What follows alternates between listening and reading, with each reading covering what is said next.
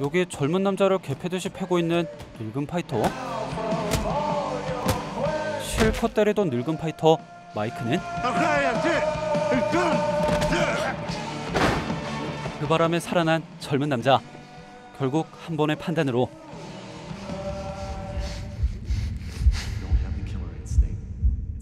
그 길로 파이터 은퇴를 선언한 마이크는 어떻게든 먹고 살기 위해서 막노동 일자리까지 알선맞죠. 더 캐슬이라 불리는 고급 아파트의 철거 현장이었는데요.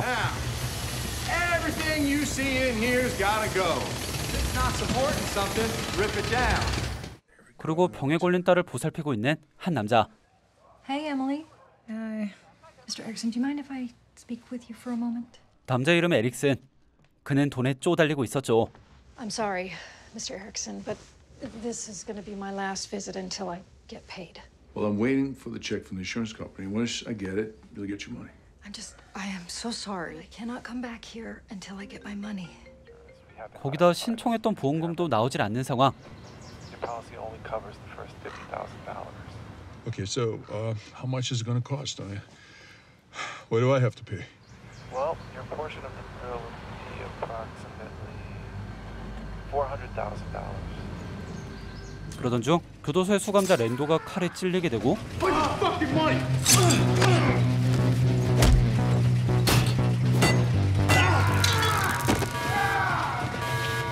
랜도는 캐슬의 폭발 소식을 듣고선 에릭슨과의 면담을 요청하는데요. Hey, guard. Let me talk, talk to the lieutenant. We'll be back to South Block. They're gonna kill me if you don't. I'm sorry, I don't make deals with inmates. Take it up with the warden. 고졸하는 에릭슨에게. Look, it's, it's money in it for you. I'm talking a lot of money. Look, I'm trying to help you out. You got a family, don't you? 그 소식은 교도관을 통해 조직의 보스 데미언에게 들어갔고 You know, he's the only reason Lando ain't dead in the first place. And I hear that he needs a lot of money for his daughter's surgery. 그는 태연하게 교도소에서 전화기를 꺼내듭니다.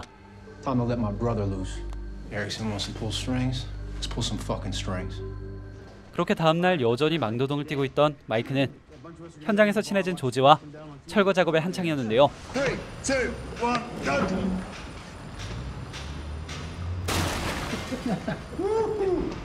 나름 꿀잼 포인트가 있는 모양입니다. 어쨌든 벽을 뚫던 마이크. 그런데.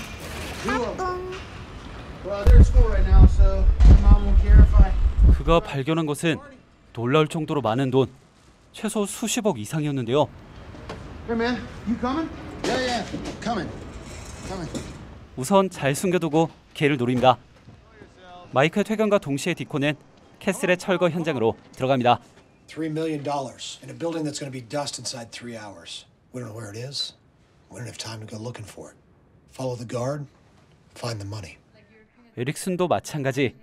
딸을 위해서 목숨을 걸기로 하는데요. Bye, Dad. All right, see you soon. 그렇게 건물의 폭파까지 남은 시간은 90분. 건물로 몰래 들어가는 마이크와 에릭슨. 그리고 에릭슨을 발견한 데미언의 동생 디콘 일당. 바이크는 돈가방에 환호합니다. 로또보다 더큰 액수인데요.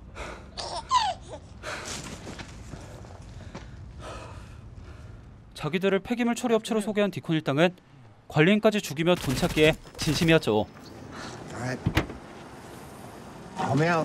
한편 돈방 속에 앉아 즐거워하던 마이크는 돈을 열심히 찾고 있는 에릭슨을 발견합니다. 그리고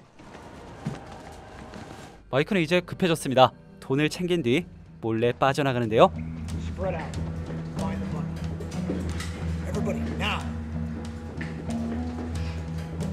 디콘은 돈이란 걸 직감합니다.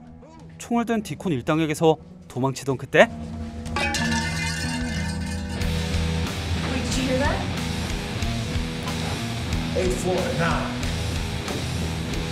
열심히 도망치던 마이크 궁지에 몰리자 어쩔 수 없이 나서는데요.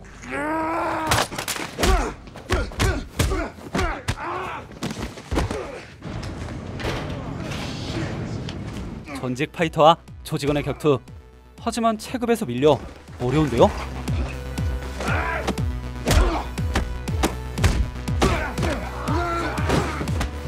싸움이 길어진다면 위험합니다. 마이크의 선택은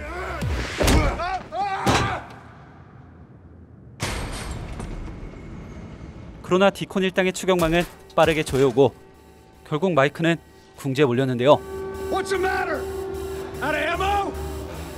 You want to tell me who you are before I kill you? Maybe we'll just wait till the whole place blows. 그의 결정은 You may as well give me my money. Might as well. 일확천금의 꿈. 오늘도 저는 로또를 사며 꿈을 꾸곤 합니다. 은퇴한 격투 선수로 이제 먹고 살 길이 막막했던 마이크. Maybe you guys should take over, don't you? Thank you. There you go. 쥐꼬리만한 교도관의 월급으로 갚을 수도 없는 집을 팔아도 택도 없는 빚이 생겨버린 에릭슨. My house isn't even worth that much.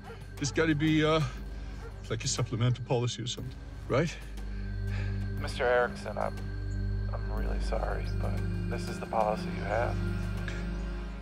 형의 돈이 불타 사라지기 전에 300만 달러의 거금을 챙기려는 디콘. You just called.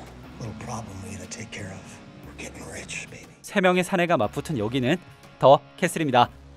3월 17일 개봉하는 액션 영화 캐슬 폴스 머니 게임은 세 명의 사내가 보여주는 그저 돈을 위한 사투를 아주 맛있게 연출하고 있습니다. 폭발이 90분도 채 남지 않은 철거 건물에 모인 세 사람. 과연 300만 달러의 거금은 누구 손으로 들어갈까요? 캐슬 폴스 머니 게임 3월 17일 극장에서 확인하세요. 오늘 영상 어떠셨나요? 구독, 좋아요, 댓글과 알림 설정 잊지 마시고요. 그럼 우리 다음 영상에서 또 만나요. 안녕.